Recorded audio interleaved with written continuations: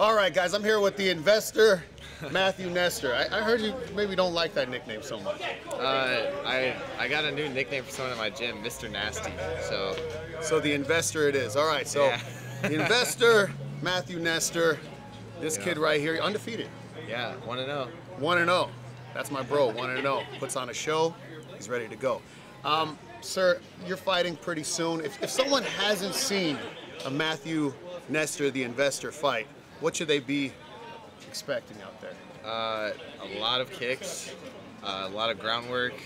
Uh, kind of fight like Sean O'Malley, Israel Adesanya a little bit. Do you have a favorite uh, fighter that you kind of, you know, model your game after? Is it one of those guys? I try to after GSP, but you know I don't think anyone can be He's the goat. as perfect as he is. He, he is the goat is in the my GOAT, opinion. in my opinion, too. Um, Israel Adesanya too. Israel's good. Yeah. Sean O'Malley. It's exciting.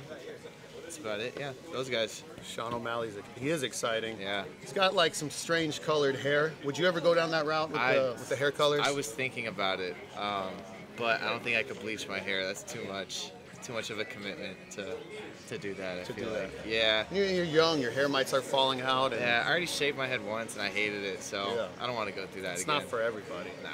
I definitely don't ever want to lose my hair. I got a funny shaped head. um, sir, do you do anything besides fight and train to fight? Do you have any hobbies outside of uh, combat sports? Uh, I play basketball a lot. Um, I also play video games. Think like any 20 year old does, you know. Uh, yeah, I like skateboard too. Oh. Schmo's coming after Thor. outside of uh, the schmo's trying to get me Hey, Thor, the Retribution. schmo has been on one today.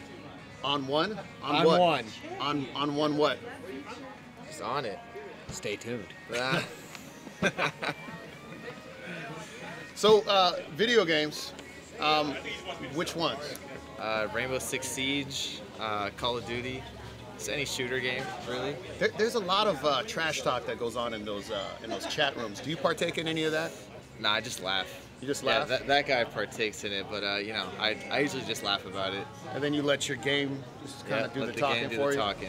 What about in like uh, in fights? Do you uh, do you partake in the trash trash the trash talk, the trash talk, or do you uh, you kind of just let your fists do the talk? I let my fist do the talking. I mean, if it's with my friends in the gym, like yeah, it's fun, but the talking in the cage.